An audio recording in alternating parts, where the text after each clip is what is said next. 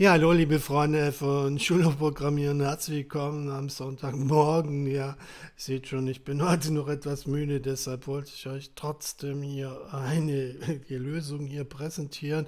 Es ging wieder darum, Schulprogrammieren hat wieder eine neue, hatte eine neue Prüfung und die wollen wir natürlich uns angucken. Ähm, die Lösung von der ganzen Geschichte.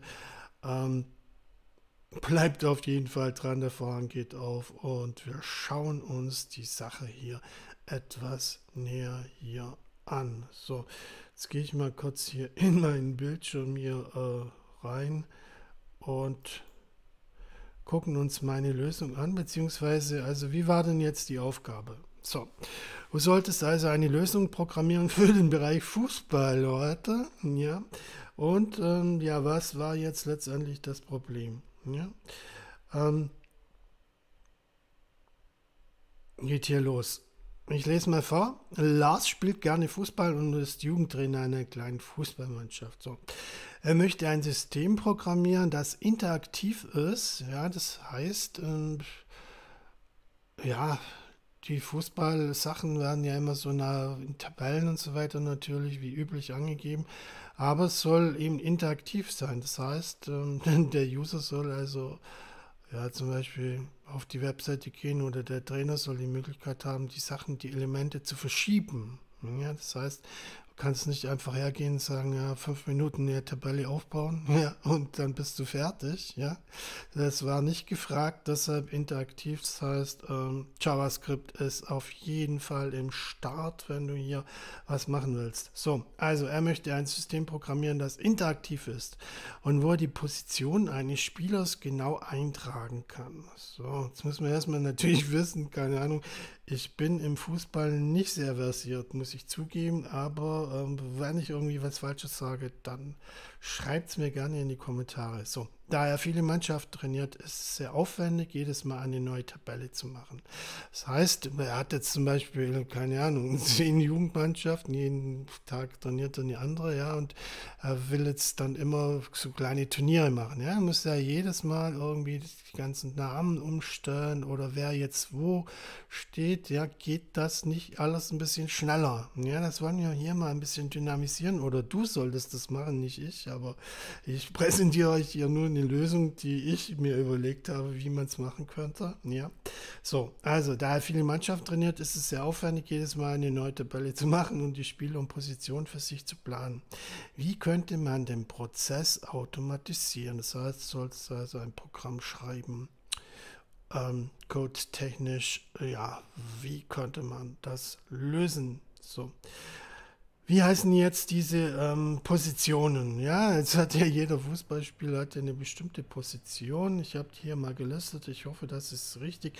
Wenn nicht, schreibt es mir gerne in die Kommentare. Topic 1, Außenstürmer links, Außenstürmer rechts, zentraler Stürmer 10, 8, 6, Außenverteidiger links, Außenverteidiger rechts, Innenverteidiger links, Innenverteidiger rechts, Torhüter, pff, ja, genau. Also, dann haben wir die elf beisammen insgesamt. Das solltest du also machen und ja, wie könnte man die dynamisch einplanen? Das heißt, innerhalb von Sekunden kann der Trainer die Sachen umstellen, ohne das jedes Mal lästig einzutipsen. Ja? Äh, wie kann man sowas hier programmieren? Das war hier die Aufgabe, die Sonntagmorgen-Aufgabe, sage ich jetzt mal. Ja. Wenn ihr noch so müde seid wie ich, dann ähm, ja. Ich präsentiere euch jetzt mal meine Lösung, wie ich es machen würde. Wir schauen uns kurz den Code an. Ähm, ja, wie man ähm, sowas machen konnte.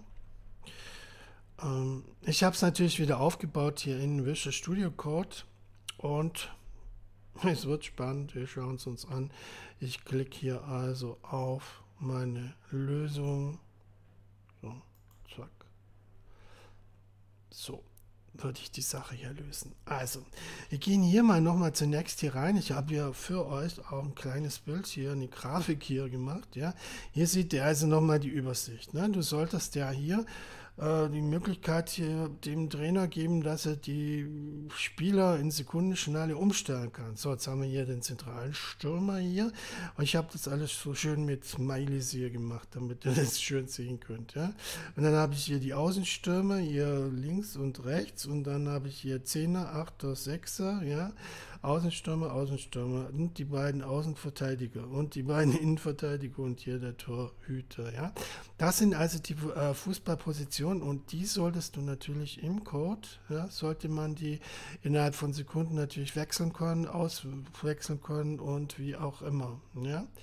Sonst müsste der Trainer ja hergehen und jedes Mal dieses ganze Ding neu schreiben. Ja, das, das ist ein Aufwand ohne Ende und wer hat dazu schon Lust? ja, so, also, das sind also hier also die Positionen, das war gefragt. So, und jetzt habe ich mir überlegt, ja, wie kann man das jetzt am besten hier lösen? Ja, es soll auf, eine auf der einen Seite interaktiv sein. Du hast, ähm, ja, bei den normalen Tabellen hast du halt nichts Interaktives. Ne? Da steht halt dann drin, ja, gewonnen, verloren, bla bla, ja. Und hier ähm, interaktiv heißt, du brauchst JavaScript, ja, also das äh, Dings habe ich mit ähm, der Markup-Sprache HTML gemacht. Das ist praktisch für die Struktur des Ganzen. Ja, habe ich den Code aufgebaut.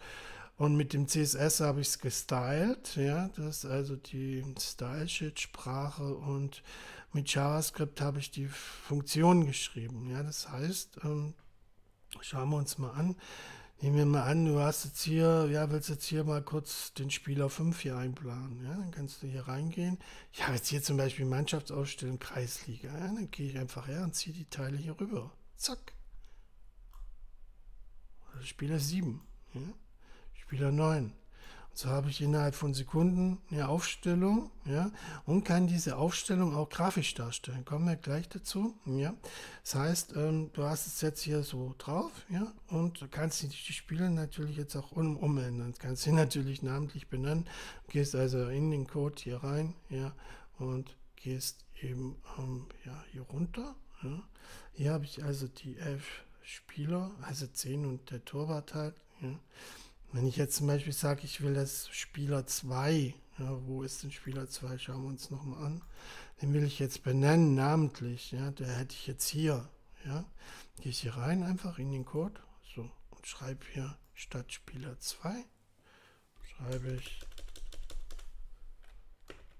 Frank Mustermann.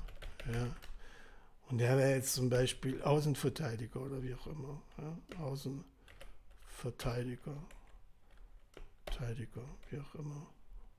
Ich kürze mal ab. So. Ja, und jetzt gucken wir mal, wo das jetzt hier angezeigt wird. Zack. Und du siehst, du hättest den hier. Ja? Ziehst den einfach hier so rein an die Position, die du haben willst und schon hast du es. Ja? Cool ist auch, du hast natürlich alle, jetzt hat der Trainer verschiedene Mannschaften. Ja? Und er sagt, ja, ich bin teilweise, oder ja, zum Beispiel an verschiedenen Orten, Orten, ja, in der Nachbarschaft ist er vielleicht auch Trainer irgendwie, ja, und ähm, dann könnte er jetzt hergehen, ja, und die Mannschaftsaufstellung Kreisliga hier schreibt er, kann er das natürlich auch verändern. Ja, kann man das hier jetzt machen? Ja. Er könnte jetzt natürlich hergehen und hier das natürlich auch ändern. Hier steht jetzt zum Beispiel, also Mannschaftsaufstellung Kreisliga habe ich hier eingetragen. Ja. Also geht der her ja, und trägt von mir aus, keine Ahnung, ich kenne mich im Fußball nicht ganz so gut aus. Jugendmannschaft zum Beispiel könnte er jetzt schreiben. Ja. So, also schreibt ihr hier Jugendmannschaft, ja, zack. Und könnt ihr natürlich den Ort jetzt noch schreiben, ja, schreibt von mir aus München, München sonst was auch immer. Ja. So, und wo würde das jetzt hier angezeigt werden? Ja, dann hättest du das hier. Und ihr könntet die Spieler kurz benennen, zieht sie rüber, zack, und hat die ganze Geschichte. Ja. So, jetzt hat er die ganze Sache natürlich hier drauf. Ja. Wie könnte er jetzt die Sachen weiter bearbeiten oder für seine Webseite oder so nutzen? Ja. Er könnte hergehen und hier ein einfaches Screenshot ziehen. Ja. Könnte hergehen und sagen, okay, ich habe jetzt hier meinen ganzen Spieler, ja, zieht sie einfach hier so rüber. Du kannst auch die Einzel, also die Ersatzspieler, ja, habe ich hier auch noch eingetragen, drei Stück. Ich habe nur gelesen im, im, Internet, dass man, glaube ich, bis zu sieben aufstellen kann, aber nach drei habe ich dann aufgehört. Ähm, ja, jetzt halt hier den Torwart und so weiter. Ja, jetzt siehst du das Ding. Und so kannst du ruckzuck hier alle möglichen Mannschaften hier eintragen. So, jetzt hast du das natürlich nur in Visual Studio Code. Ja. Hier hast du natürlich das Problem, wenn ich jetzt hier zum Beispiel draufklicke und wieder rausgehe aus dem Programm, ist natürlich alles weg. Ja? Das heißt, du hast nur eine Sekundenaufnahme. Was heißt das jetzt genau?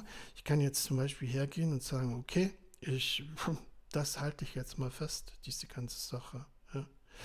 Also, ähm, entweder du gehst der als einfach dein Handy hier drauf, ja, und dann hast du es auch schon, äh, machst einfach ein Bild von dem Ding, oder du gehst, zeige ich dir gerade mal, es gibt auf der Tastatur, ja, da steht hier drucken.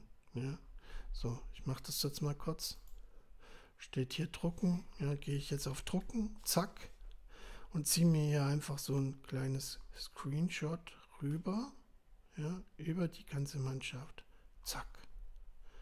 Ja. Und jetzt gehe ich her und öffne kurz Paint, gehe auf Steuerung V und schon könnte ich das Ganze weiterverarbeiten. Ja, zum Beispiel als Bild. Oder du kannst hier oben noch einen Text hier reinschreiben. Ja. Schreibst du hier einen Text, ja. Meine Mannschaft, ja. Meine Mannschaft. Sieht natürlich jetzt alles nicht schön aus, kannst du natürlich noch schön machen, wie auch immer, ja. Oder du kannst hier äh, alles Mögliche hier, ne? So jetzt zum Beispiel, ja. Oder was auch immer du für Dings, hast hier oben so kleine Effekte, ja, du kannst eigentlich alles Mögliche machen. Kannst das Ganze natürlich auch in PowerPoint hier reinschmeißen, ja, und dann äh, designtechnisch anpassen. Das geht natürlich, äh, kann man natürlich auch machen, ja. Also hast du alle Möglichkeiten, deine Mannschaft hier grafisch äh, darzustellen, ja. Und wie groß ist dein Aufwand? Du hast gesehen, ein, zwei Minuten, ja. Sobald du die Sachen praktisch im Code hier eingetragen hast, ja, klickst du auf den Live-Server, den Live-Server. Also, wie kriegst du das ganze System? Ja, du gehst her und lädst dir Visual Studio Code runter. Ja, ist klar, wenn du sowas noch nie gemacht hast. So, Visual Studio Code ist kostenlos. So.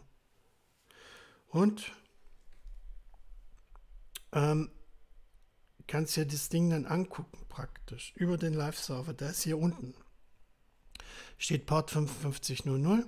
Gehst also hier rein. Wenn du ähm, Visual Studio Code runtergeladen hast, ist der noch nicht drauf, der Live-Server. Das heißt, du musst den draufspielen. Du gehst hier links auf die Extensions und schmeißt hier oben, sagst du, okay, den will ich unbedingt haben. Ja. Brauchst du auch, weil sonst siehst du ja nicht, was du für Spiele eingeblendet hast. Ja. Dann gehst du hier auf Live-Server. Ja? Und dann nimmst du den wie immer, den von Richie Day steht hier auch. Und dann steht hier auf der rechten Seite, steht hier Install. Da klickst du auf Installieren, dauert so eine Minute oder so. Ja? Und schon hast du den drauf. Das heißt, kannst auf die Ausgabe klicken und dir das Ding hier angucken. Ja? Beziehungsweise, ja, ich habe mal schauen, vielleicht lade ich es auf GitHub hoch, dann könnt ihr den Code runterziehen wenn das eine interessante Sache für euch ist oder ihr habt ja immer wieder Leute einzuplanen oder ihr findet diese grafische Geschichte cool. Ja? Theoretisch könnte man auch hergehen und ähm, könntest jetzt auch die Spieler hier zum Beispiel einblenden. Wie macht man das? Gehst wieder auf Drucken ja? und jetzt hast du wieder hier, ziehe ich mir das Spielfeld hier rein, ja? gehe auf Paint, so, und schmeiße das hier rein, das Bild. So.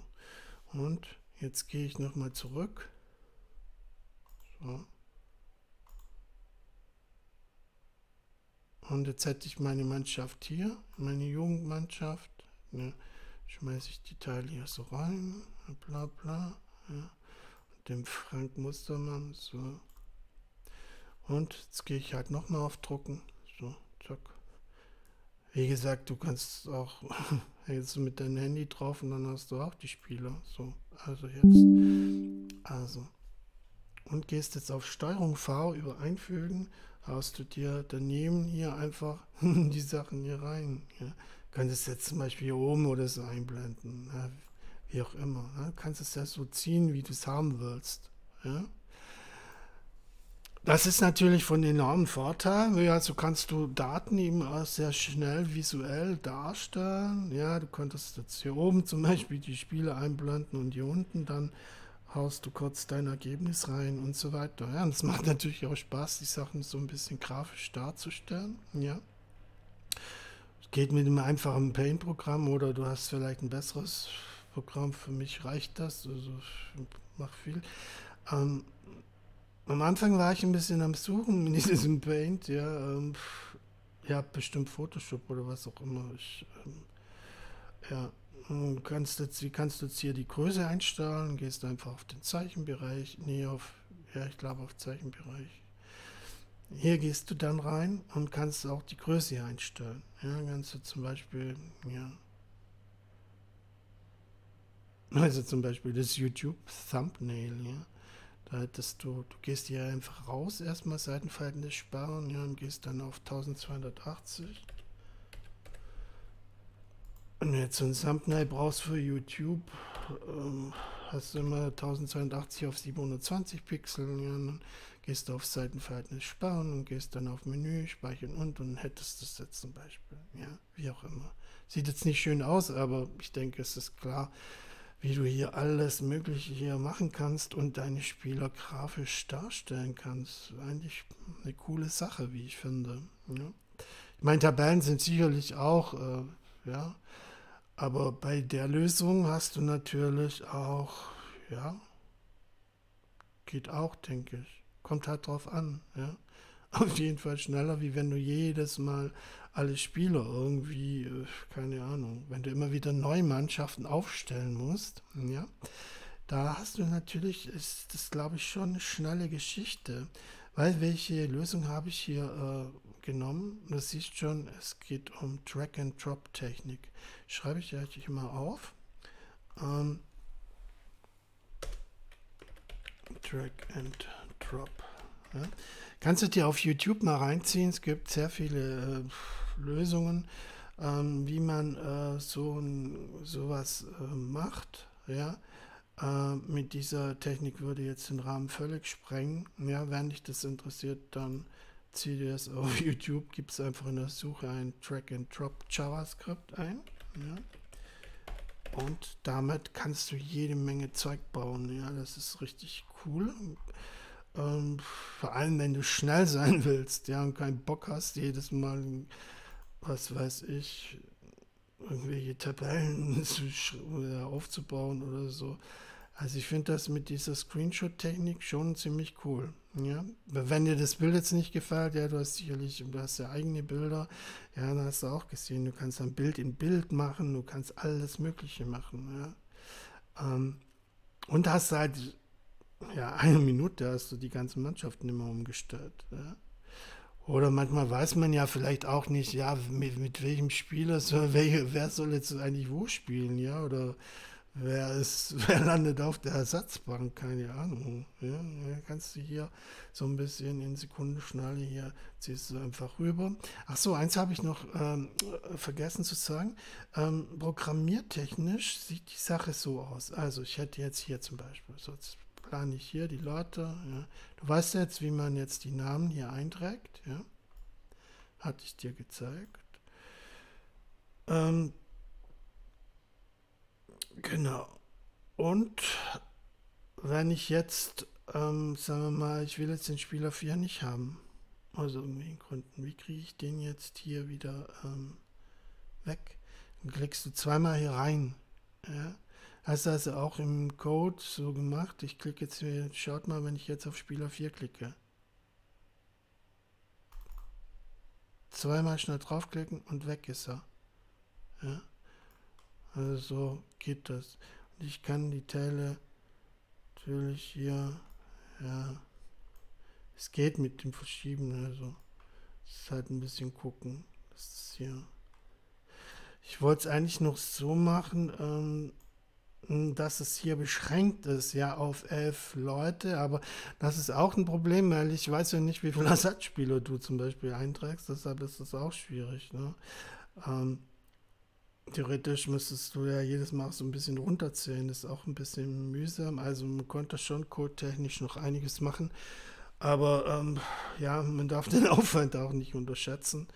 Ähm, sowas zu machen ist schon aufwendig auch. Das machst du nicht in einer halben Stunde. Oder wenn du es in einer halben Stunde hinkriegst, bist du gut. Also, ähm, ja. Also das wäre so meine Lösung zu dem Ganzen hier, ähm, wie man es äh, machen könnte. Also es gibt ja immer sonntags, also gibt so Programmierprüfungen, gehst auf die Seite Schulhofprogrammierung, ja, und ähm, kannst dann praktisch ähm, so ein PDF runterladen auf der Seite. Ja, und dann gibt es immer wieder so kleine Codeaufgaben, sage ich jetzt mal, die du versuchen musst zu lösen. Und es hilft dir einfach, selbst wenn du jetzt nicht unbedingt Zeit hast oder Lust am Sonntag zu coden, ähm, es hilft dir einfach, ähm, ja, Projekte umzusetzen, in die Programmierung einzusteigen. Ja? Versuch selber mal, ja, muss ja jetzt erstmal so die Lösung, aber ähm,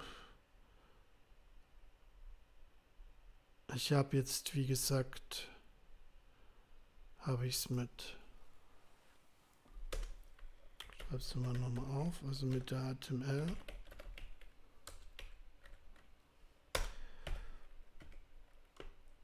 Und das ist die Markup-Sprache und mit CSS habe ich das Ganze gestylt. Achso, das kann ich noch kurz zeigen. CSS ähm, Styling. Es kann ja sein, ja, du hast jetzt, du willst das irgendwie anders. ja. Gehen wir mal noch mal rein, schauen uns die Sachen hier an. So, jetzt hast du das hier so aufgebaut. Ich habe das Bild natürlich jetzt nur für euch reingemacht. Ja, du kannst es natürlich auch rausschmeißen. Ja, dann gehst du hier einfach in den Code hier rein und schmeißt das Bild hier raus. Wo ist das Bild? Tödem, tödem. Das ich erstmal hier zumachen. So. Dann ist hier. Und kannst das Bild dann einfach hier rausschmeißen und ja, hier ist das Bild. Fängt mit Image Source, gleich Fußballbild 3, ja. Könnte das jetzt zum Beispiel rausschmeißen. Ich habe das nur reingemacht für das Video, damit ihr seht, äh, ja, mit den, vielleicht bist du auch nicht so fußballbasiert, äh, mit den ganzen Stürmern, ja, wie die heißen und wer jetzt wo spielt, an welcher Position, ja. Ich könnte jetzt ja gehen und mache hier einfach Cut. Was passiert jetzt? Und jetzt hast du das Bild raus, ja. Und du kannst ja immer wieder mit ähm, Steuerung und Z, kannst es auch wieder reinmachen, ja, Steuerung und Z. So. Jetzt wäre es wieder drin praktisch, ja. Oder die Größe des Bildes kannst du natürlich auch in Dings, ja. Ähm, hier dann äh, letztendlich äh, verändern, sage ich jetzt mal. So, jetzt haben wir die Situation, gucken wir an, so, dass wir hier, also haben wir vom Style her, haben wir so ein weiß, schwarz, und das sieht jetzt so aus, ja? Also ich finde, es sieht schon ganz cool aus, wenn du sagst, ja, das sieht eigentlich beschissen aus, ja. Ich will das, keine Ahnung, ganz anders haben, ja dann kannst du das natürlich machen. Dann könntest du ja auch hergehen und in Style hier reingehen. Ja? Also das CSS ja, ist ja für das Styling hier. Ja? Also gehe ich hier rein in das Style.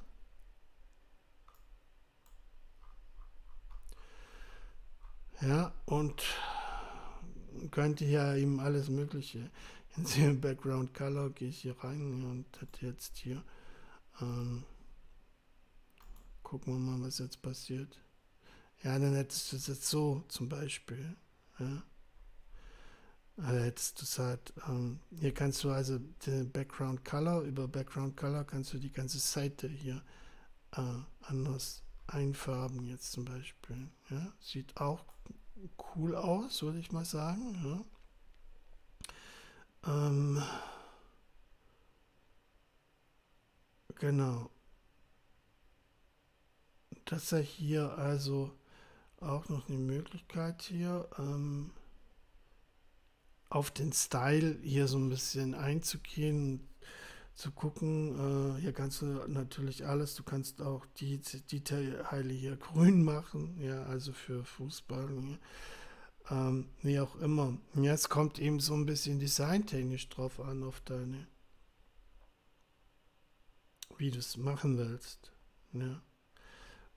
Und das ist ja, oder du könntest hergehen und das Ganze hier kleiner machen. Wie gesagt, es ist jetzt nur so eine Probe, Probelösung, die ich gemacht habe, um euch zu zeigen, wie Drag and Drop hier funktioniert und was du mit JavaScript alles Cooles machen kannst. Ja.